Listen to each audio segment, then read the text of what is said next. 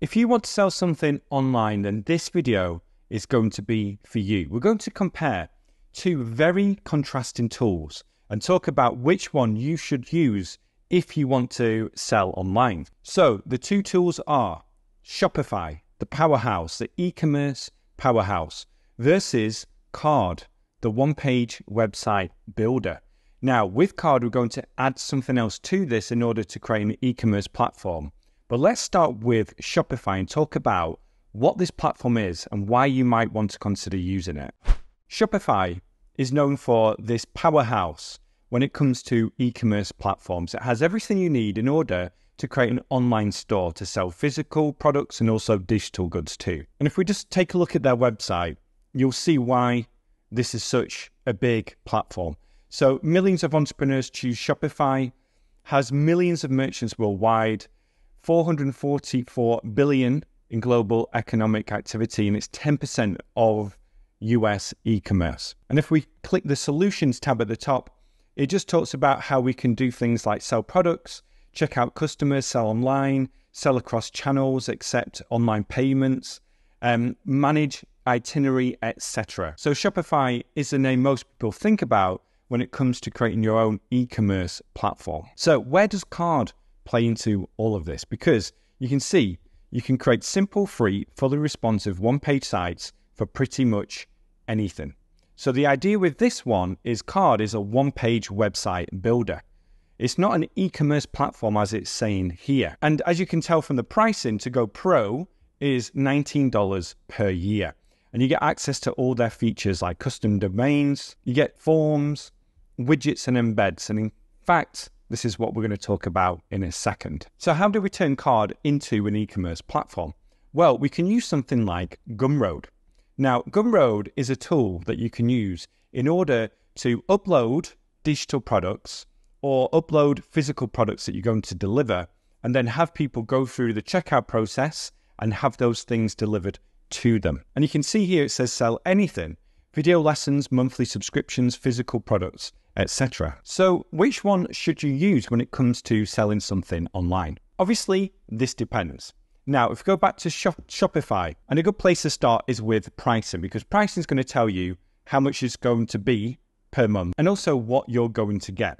So, most people, when they're starting something to sell online, let's say it's a digital product, you'll go to the basic for solo entrepreneurs. So, you can see here it's $29 per month. You get um, these type of features here now, if you want to learn more, you need to go to the full list of features. I'm not going to go through all the features on Shopify, all the features on Gumroad. But a good way to think about it is with Shopify, you're going to get this online store. So you're going to have the ability to build an online store as your website.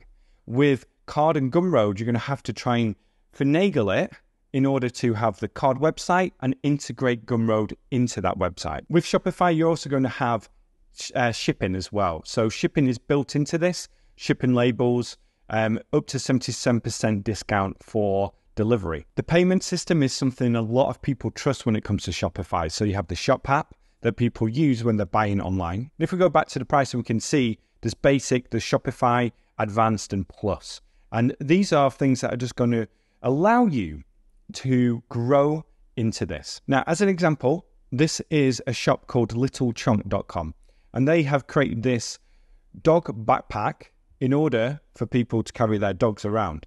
And this is a site built on Shopify, so everything is integrated here. And if you just scroll down, you can see it's quite advanced, it's very well designed, there's a lot of color on here as well. And when you go to shop and just say this one, and you add to cart, this is all created through the Shopify website. So going back to Shopify, we believe this is great if you want to build an e commerce website and one that you want to grow with. Now, on the other hand, if you're looking to create a product to see how it does, if you're looking to create your first digital product, an ebook, or if you're looking to sell something online without spending a lot of money to begin with, then you can always start with Carrd and Gumroad as a way to put something out there and see how it goes.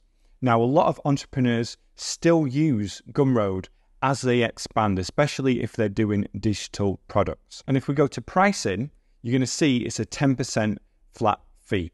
meaning that you're not spending 30, 50, $100 a month just to have this online store before making your sale.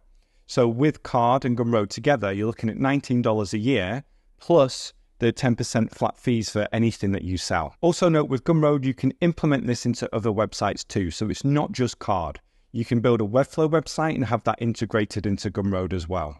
So the platform that you use will depend on what you're selling, if you are looking to scale with pace, and also just what you feel comfortable doing.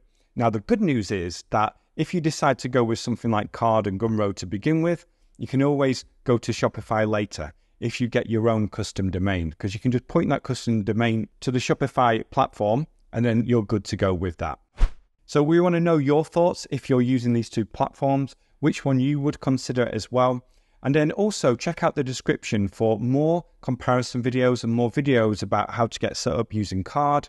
You can also look at a video we made on Shopify versus Gumroad directly. And if you're interested in building something with no code tools, and go to nocode.mba and get access to our 60 plus curated courses that allow you to build apps, automations, websites, and more. And if you want to get started with a free guide, then go to nocode.mba slash guide to get this guide to no code tools. Thank you so much for watching. If you like this, and please like the video and share it. And be sure to subscribe if you're new. Bye for now.